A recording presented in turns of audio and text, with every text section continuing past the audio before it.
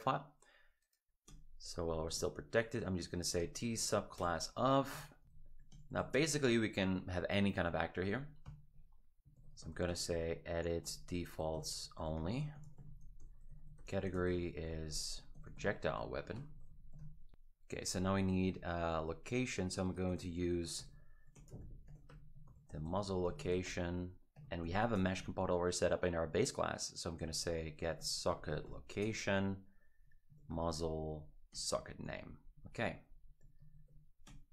like so. And the rotation is going to be uh, the, the socket rotation. So let's say uh, muzzle rotation is